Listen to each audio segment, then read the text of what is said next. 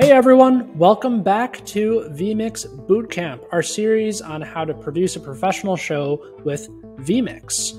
We've already uh, organized our assets. Now it's time to dive into what I think is the fun part, which is building your session. When you're producing one of these shows, you want to build your mortises, your boxes early. And you're going to want to set all that up definitely before your talent arrives. So, I am going to build one box and two box in this episode, and uh, it's a pretty similar process between them.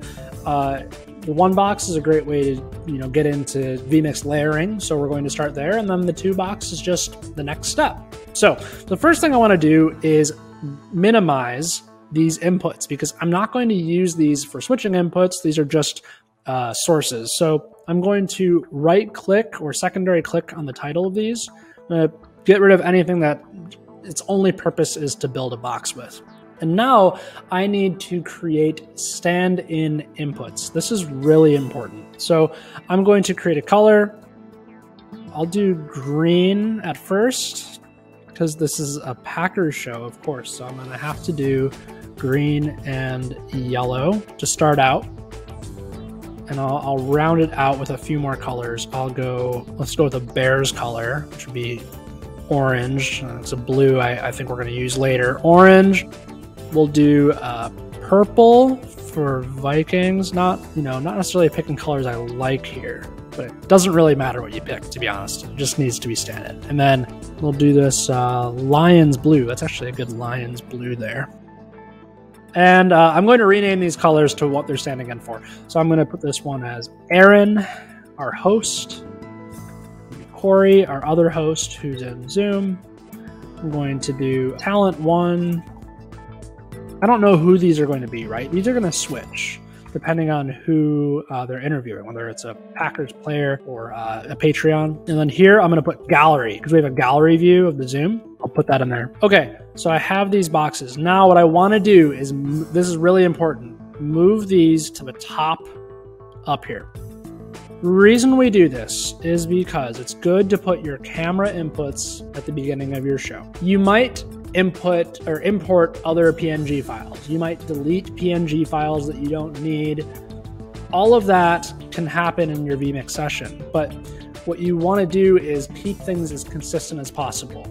What you don't want to do is start building shortcuts down the road or other uh, mortises down the road where your input numbers are changing. So the first thing I'm going to do is create a one box for Aaron. So I'm going to actually go here and let's do this. We're going to do uh, comps, compositions. This is going to be anything uh, one box through a four box, maybe uh, another multi-view thing. There's a bunch of ways that you can build comps. So I'm going to add an input and I'm going to click on color and just add a black input. This does the exact same thing as clicking on the little arrow here and clicking on blank input. Either way, it's just creating a black color input. I'm going to rename this Aaron 1 box close this. Now, go to the input settings, layers, multi-view, and I want to put Aaron on input two. I like to do two because it allows us to put something behind him if we ever need to. And it's important that we are consistent throughout building all of our boxes. The reason being, it's a little bit of a relic of using merge transitions in vMix, which transitions in vMix, excuse me. We're going to cover that in a bonus episode later of using merge transitions. Uh, once you use certain transitions like that in vMix, it's important that your layers stay the same. So if Aaron is number two, in this one box, he should be number two in a four box down the line. Cool. So Aaron is there on number two. And similarly, I don't want to go on number 10 just in case I need to put something like, I don't know, a ticker above. But I'm going to click on one box.png and you can see it puts the frame around it. I'm going to go to Aaron here and zoom out so I don't lose the whole thing there. There we go. And now what I want to do is I want to pan this up with the with the Y pan and zoom in a little bit. And you can see that this, this box is not a perfect 16 by 9 frame. And by the way, if you want to make this bigger, you can just click and drag and it'll make this preview window bigger. Okay, so uh, what I'm going to need to do is cut off some of my uh, Y uh, axis here. I don't want to cut off too much on the top. I probably want to cut more off the bottom. So I'm actually going to pan this down just a little bit here. So it's like right there. And then zoom in and we're going to fill this out. And it's really important that we are consistent. So I need to fill that out. There we go. All the way there. And by using the arrow keys, the up down arrow keys, you can get really precise uh, input on any parameter here. So I'm going to copy this I'm going to use this later, and I'm just going to remember that the pan is 0.045. I'm going to use that later. Now, what I want to do is build another one box, this time for Corey. There are two ways to do this. One is to create a virtual input on a one box you've already created. This is actually going to work well for the demonstration I'm doing throughout this series because later on, we're going to actually use a separate audio source for our program audio. However, if you are doing an all in the box solution here, where you're using vMix for your auto auto mixing uh, audio and for your graphics, right? You're doing everything in one. Try to avoid virtual inputs because they don't auto mix audio the same way. So I'm going to not create a virtual input for now. I'm going to just add an input and I'll add a blank one I'm going to go to layers multi-view and I'm going to do the same thing. This can stay the same. This is going to be onebox.png. Corey, however, is going to be the input here. You can see it already did 0.94. Oh, there we go this is a this is a bug. I think I'm going to click on one there. There we go. Now everything should follow, and it does. Very good. Sometimes if your zoom, your overall zoom decouples from your zoom X and zoom Y, it can create problems. So just reset everything to one and redo it. So I know that I copied this, so I'm going to paste that in. And then my pan Y was 0.045. Excellent. So we have created a Corey one box and an Aaron one box. We might create more down the road, but for now, that's going to be good for this demonstration. Now I'm going to do a two box. It's almost the exact same thing.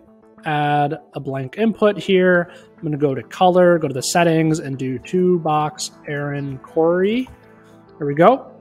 Layers multi-view. I'm going to select the two box right here. And you can see here, I actually didn't capture this on video. I renamed one of our two boxes two box pip because right here there's actually a, a, cutout. It's really hard to see because of the background being black. And this is a pip not a two box as we might call it. A pip is a uh, bigger source and then a smaller source. It's a picture in picture. I'm going to do two box.png here okay so aaron was on layer two I'm going to edit this. For zoom, I want it to be the same, 0.954. For pan Y, I also want it to be the same. The reason why this needs to be the same is because if you're cutting from a one box with Aaron and a two box with Aaron and Corey, I don't want Aaron's eye line to change. Now, just like the one box, once Aaron actually sits down and is looking at the camera, I might go in and change the Y pan so that his eye line ends on the third, uh, which is, you know, about right here. That's just best practice for framing anyone, right? But I want to at least make it consistent when I'm setting up so that in the chance that I do just get lucky and we pan the camera and hey, he's on the third, cool. It's consistent across my entire uh, project. So I'm going to do that. What I need to do to get Aaron over here into this box is I need to pan the x-axis to 0.05, but I specifically needed it to be negative 0.5. vMix does panning and zooming on a one-based decimal system. So 0.5 is halfway across the screen. Negative 0.5 is halfway across the left. 0.5 is halfway across the screen to the right. If I'm doing that on the Y pan axis, 0.5 is going to be halfway up and negative 0.5 is going to be halfway down. Okay, now what I need to do is crop. And the way that you calculate cropping is pretty simple. I'm going to go to my calculator here and I want to take 1920, which is my X axis. That's all the pixels in this frame. And I want to divide it by four.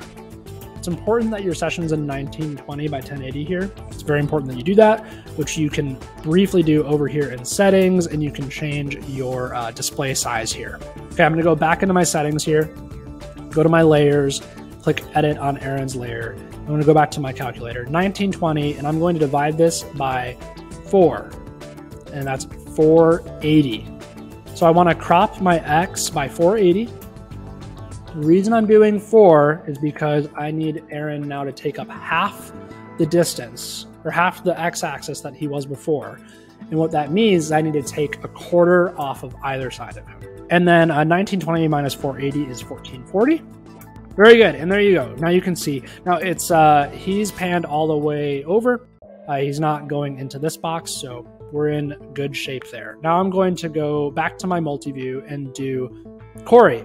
You can see once I click that, it covered everything up. That's because we haven't edited this layer yet. For zoom, I'm going to do the same thing that I've been copy and pasting, 0.045, oh, excuse me, 0.045 for my y-axis, and then for this, it's going to be 0.5, because we're going in the positive direction for the y, Cropping is going to be the same, 480 by 1440. And um, you might also be asking, why does it matter if I am cropping, you know, off to the right, it's off the screen? Well, the reason why is because you want to be able to nudge people. It's just best practice to, uh, you know, crop them in the proper way so that if you need to swap people later, uh, your cropping follows your input layer. Cool. So now I have created a two box with Aaron and Corey. Now, I'm going to do the virtual input route for this. I want to create another two box. I'm going to do Aaron and one of the other talent who's joining. So I'm going to create a virtual input.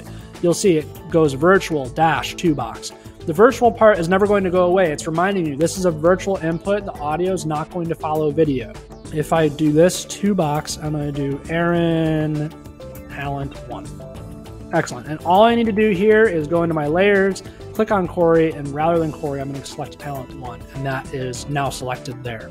So that is how you create one boxes and two boxes. Next time on vMix Bootcamp, we're going to do three boxes and four boxes. It's basically the same, but there are a few extra steps along the way.